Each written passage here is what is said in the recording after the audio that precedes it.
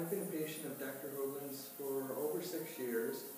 Over the years, I've had doctors tell me outright, dentists tell me outright, that I should have my teeth extracted and have dentures or implants. Um, because of the pain and all my issues, I've considered this. But when I started coming to Dr. Hogan, I um, he stabilized some teeth, he adjusted my bite, bite plane, and he put me on a cleaning program designed by him.